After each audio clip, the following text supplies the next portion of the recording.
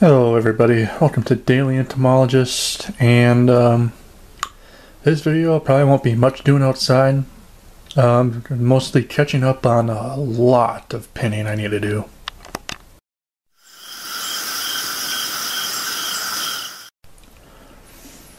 Um, so this is the first uh, batch of stuff I need to pin. Um, I have a bunch of things I need to do, pin and spread that I caught before my Wisconsin trip. And then I have to pin and spread everything I caught on my Wisconsin trip. On top of that, I'm really going hard on my collection. Um, just another sneak peek, kind of. Those boxes are now all empty. Um, so I'm making good progress. Um, so these are catches from uh, black lighting I did last week here in Colorado. Um, I actually have um, the video up on YouTube I did. Um, so see here are a lot of uh, these are these are mostly all the be these are all the beetles that I collected. A lot of June beetles. Um, got a few tiger beetles.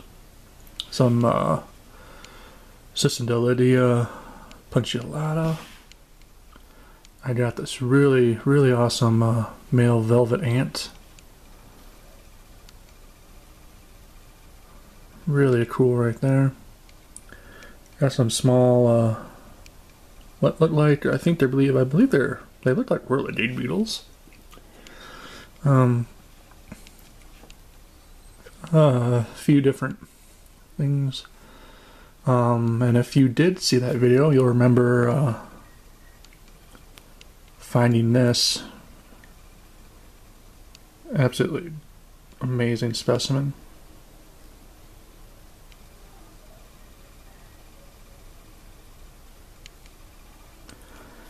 And um, these are all the 10 line June beetles that came to the light.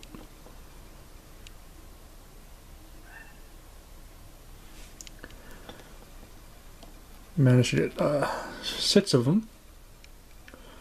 Uh, one of these are going to my friend. But the rest I'm keeping because I uh, own, but besides these ones, I only have one other specimen, I believe, in my collection. So these are definitely going in the collection.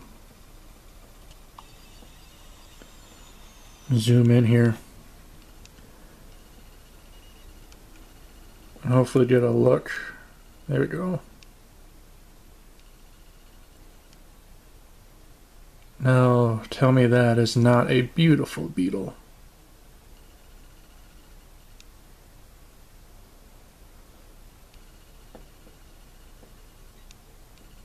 Can't get enough of these. I hope I wish I was able to find these all the time.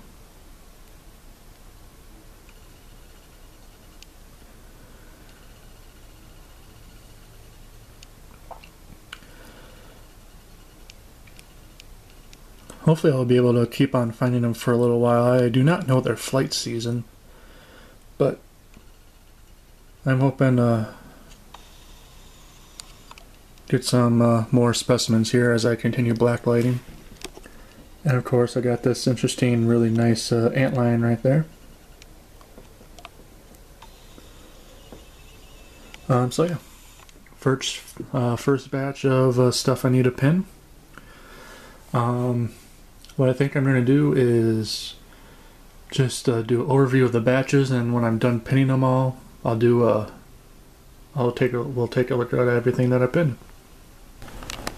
All right, we are on to batch number two for pinning.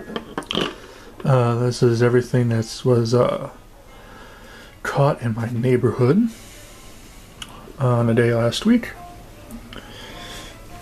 Um, so if you remember, if you've seen the video, um, a couple videos ago with the uh, giant Newman wasp. Here we go. Um, got a couple. Uh, Colias, nice sized copper species. Really beautiful. I got a Hemaris species. Hummingbird Sphinx Moth. I really like that copper. Course, those. Um, smaller stuff that was in alcohol. Got a few Tabanids right there, because you could never have too many Tabanids in your collection. Um, got some Tetraopes femoratus. Um, some leaf-footed bugs. a couple uh, velvet ants. I actually caught these two mating, so we have a male and a female. So that's really awesome. You can see the total difference between males and female velvet ants, and it's kind of insane. So it makes it really difficult to identify a species and trying to describe species as well. Got a nice big wasp there, some stink bugs, and just some smaller beetles. Um, so yeah, and go ahead and uh, get these uh, pinned and spread. And I can uh, head on to the uh, next batch. Alright. We are on to the third batch. Um, so these are stuff my grandparents collected for me. Um, from Texas and uh, Oklahoma.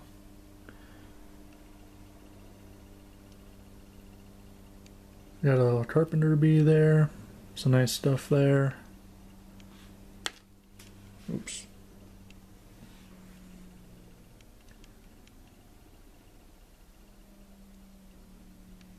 This beautiful longhorn. Um, a good pile of dung beetles. They are always finding dung beetles. They're literally everywhere. I'm surprised by how many they find. Um, so I'm really happy with that. Um, here I got a mayfly there, a June beetle. Here we got a stag beetle. Is a Lucanus capreolus. Not as impressive as like the giant stag beetle we get, but still a stag beetle and still awesome. Um, these two things they caught at a rest stop in Oklahoma. Got a nice, uh, beautiful cicada right there.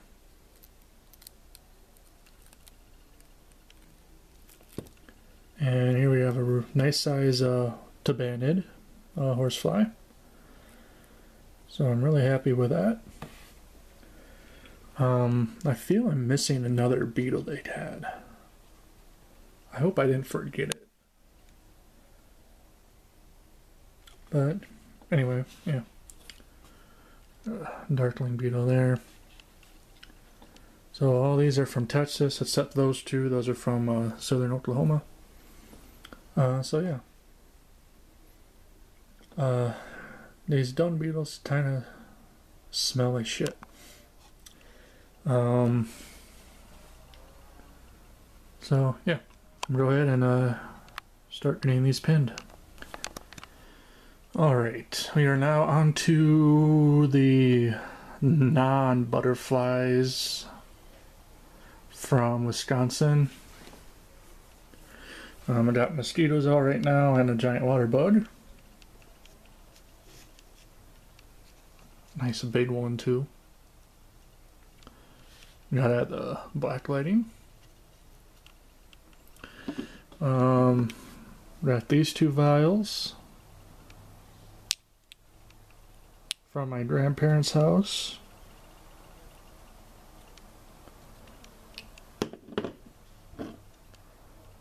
Just a vial with a few things in it from a hike with my dad. Um, another vial of stuff. Various beetles and such and flies from the same location of these ones. Um, another vial here, mostly of uh, vespids, various hornets, yellow jackets, and a couple other smaller things in there. Um, so yeah. So these are what's uh, going to be uh, being pinned out next.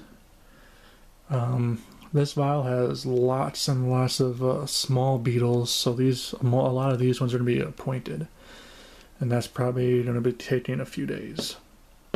But uh, the large stuff, at least, to be pinned out. Um, then, of course, when uh, I get the butterflies out and get those ready to be spread, I'll uh, show you guys those ones as well. Alright, we are on to the next batch of the Wisconsin material. Um, I only have three uh, alcohol vials left to do. Um, so those ones, and then this is the remaining uh, stuff from Wisconsin I collected. Um, you see here, got a uh, bumblebees.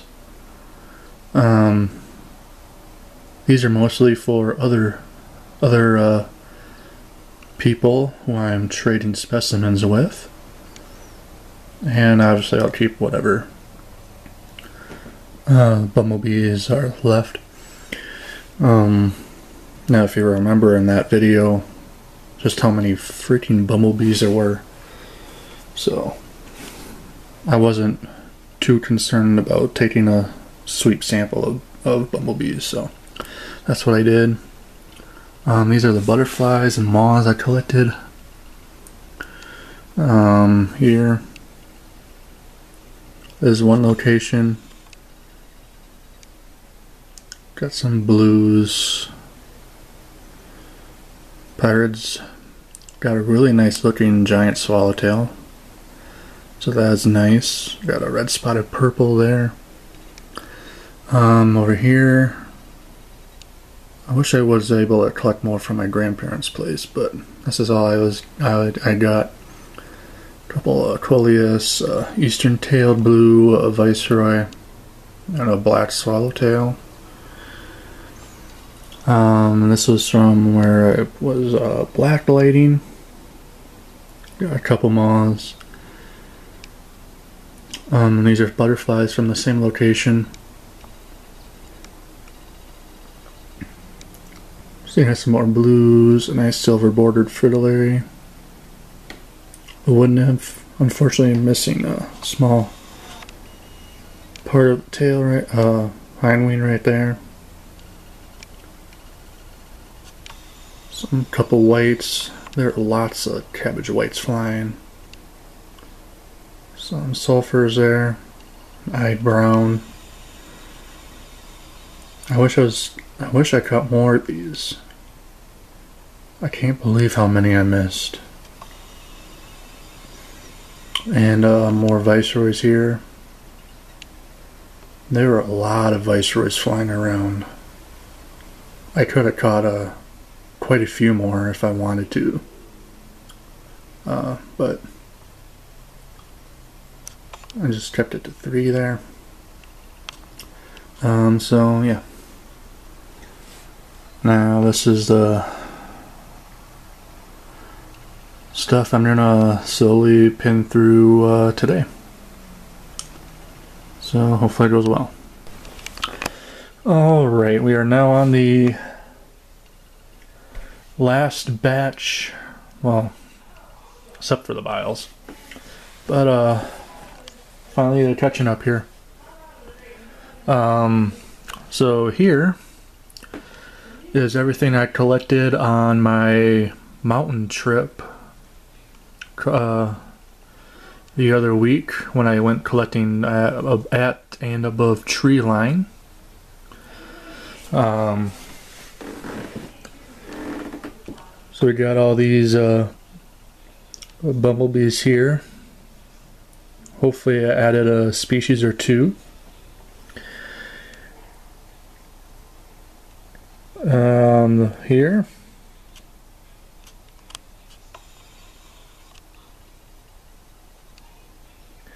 Got uh, Parnassians. Now these are a lot smaller than the uh, other Parnassian uh, specimens I've collected um, in lower elevations. So they're pretty cool. Really nice colors to them. Uh, got these checker spots. They acted a lot like skippers way up there. They're really difficult to catch. But I got a few, uh, a few specimens there. I got a couple uh, species of fritillaries, Speyeria species there, Boloria species. I think these are Arctic fritillaries. Um, so, and if they, I haven't really actually looked to make sure, but I believe they're Arctic fritillaries. Um, here's a couple skippers. Some really nice ones there. Some uh, Lycaenid, uh. Couple blues, uh, copper right there. Pierids, um, mead sulfur, a marble there. Uh, I believe these are margined whites. Um, and uh, a couple Arctic species here. And uh, yeah. So I know for sure new species, new species, new species, new species, new species. Uh, I believe these are new species as well, so I got a bunch of new butterfly species for my collection. So I'm really, really happy about that. Oh, this is probably a new species, and one of these other ones are probably new species as well. But yeah. So really happy I got that those. And I also uh, went out and collected the pitfall traps yesterday. Um, so I have those to pin out as well. Right now they're out drying.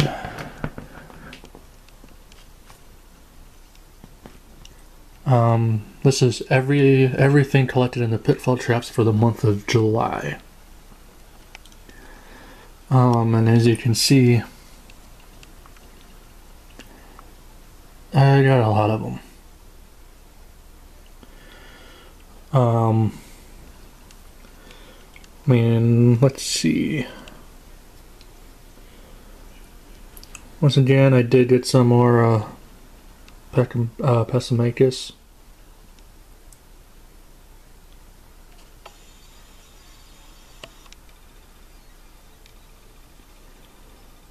Brown beetles there. Um, got a good number of uh, dung beetles actually.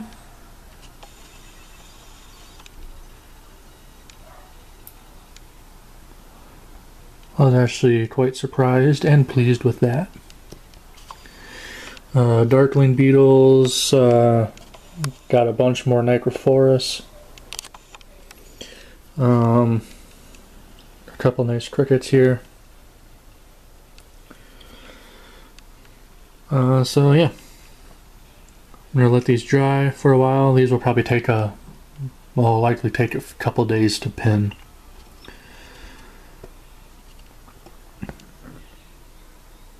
So yeah.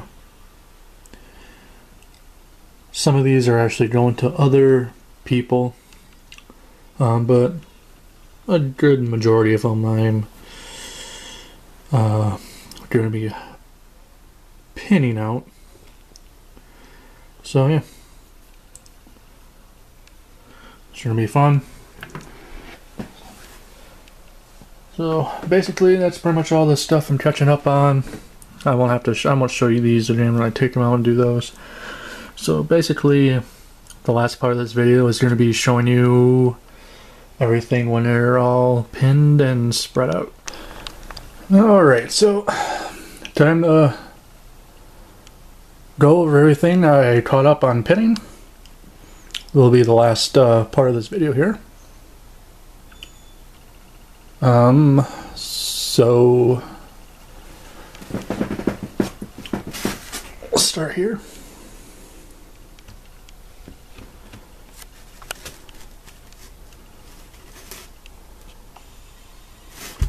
See if I can do this.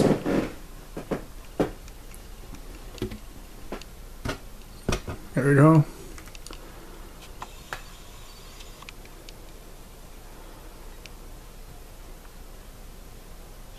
Beetles there.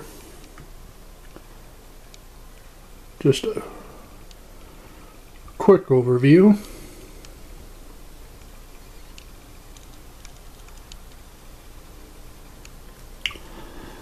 Um, so some of these you've seen in the past videos. Um, these are stuff from Black Lighting here. Um, these is random stuff. Um, bumblebees from mountain collecting and a couple mosquitoes.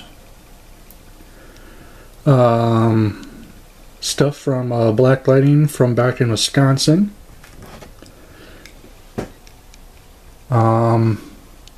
And all these are stuff I have to point from that same black lighting, black light outing as these specimens. Um, if you remember video um, of the giant Newman wasp there, um, I got stuff from Texas here that my grandparents sent me.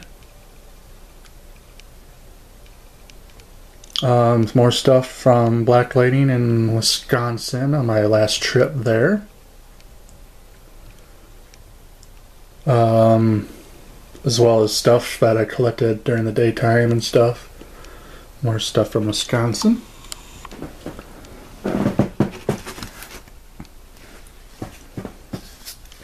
Um, now on to the Lepidoptera that I spread. Got a black swallowtail there.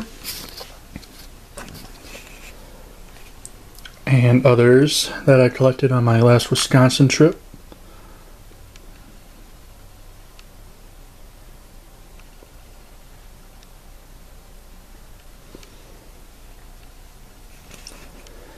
And these ones are also from the Wisconsin trip.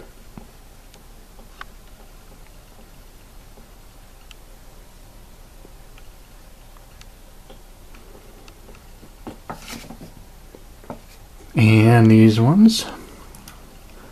Got some nice Viceroys. Some yellow, uh, some sulfurs, a couple whites.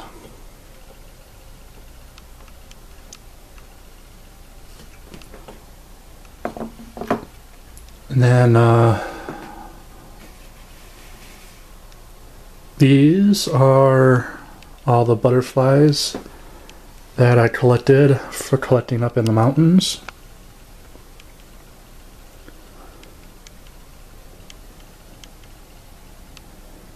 The Parnassians there, the mead sulfur, the whites, checker spots, the arctics here.